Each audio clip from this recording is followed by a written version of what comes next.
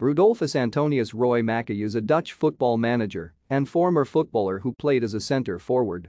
He was known for his goal-scoring ability as a result of his aerial prowess and quick drives to the net, where he can put the ball away with either foot.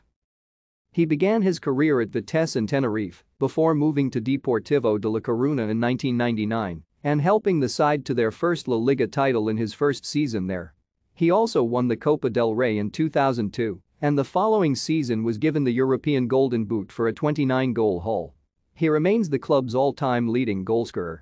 He then moved to Bayern Munich for a then club record 18.75 million euros, where he picked up the nickname Das Phantom for his ability to score out of nowhere, as well as Tormaschine for his consistent ability to find the back of the net. After winning two consecutive Bundesliga and DFB Pokal doubles at Bayern, he returned to the Netherlands with Feyenoord in 2007. A full international from 1996 to 2005, Makaay scored six international goals in 43 matches despite competition for a place in the national team. Thank you for watching. Like and subscribe if you would like to view more of our videos. Have a nice day.